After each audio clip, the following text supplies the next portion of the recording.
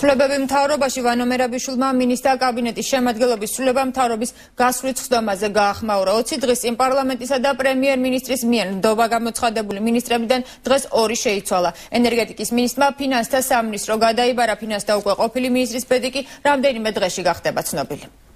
მთავრობაში აგეგმილია ცვლილება ფინანსთა მინისტრი ალექსანდრე ხეთაგური ენერგეტიკის მინისტრი ვახტანგ ბალავაძე. ცვლილებები მინისტრთა კაბინეტში ვანო მერაბიშვილმა ოზურგეთში მთავრობის გასული წვდომაზე წარადგინა.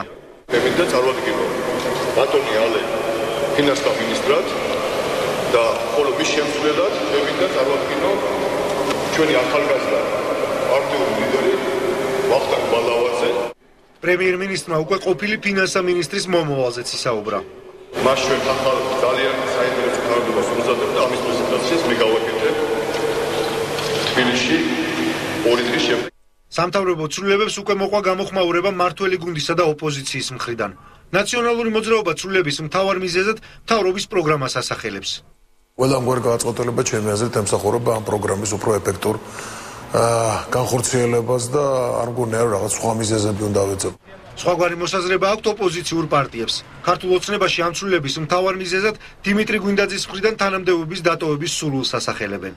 მან რამდენჯერმე დაწერა ჩემი ინფორმაციით განცხადება, მაგრამ გილაური მას არ უშვებდა მთავრობიდან.